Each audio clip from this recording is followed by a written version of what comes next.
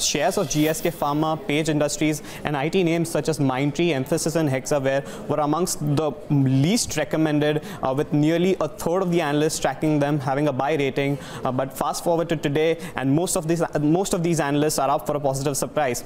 Uh, take for example GSK Pharma, close to 60% of the analysts uh, they had a sell rating on the counter, and the stock uh, rose as much as 30% uh, before the markets corrected more than 10% from their peak of August, but is still holding on to gains of about 7%, whereas the Nifty is down close to 3% on a year-to-date basis. Similarly, when it comes to Page Industries, almost 44% of the analysts they had a sell rating on the counter, but, the, but it has managed to give positive returns to the tune of 15.5%.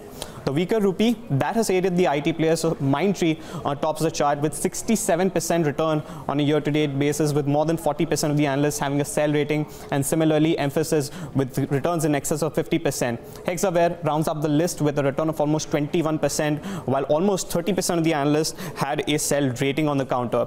Just a short disclaimer: only companies with a market cap of 100 crore and above, with more than five analysts covering it, were considered for this analysis. Back to you.